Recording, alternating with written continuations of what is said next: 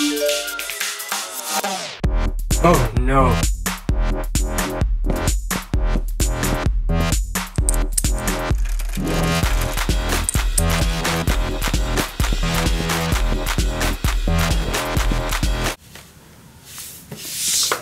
Okay guys, so today we will be discussing the motor test plans, uh, the future powertrain update and the inverter update. How are you planning to test if the motor casing is sufficient?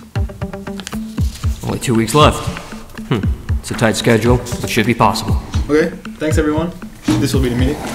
Bye guys. I have to attend a lecture, but I'll be back to help with production.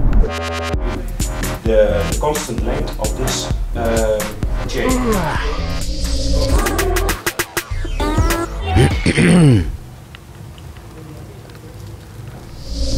I have the drawing here.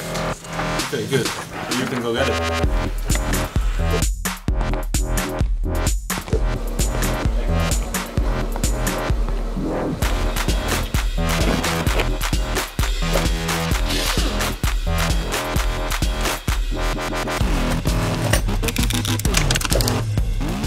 Looks pretty good.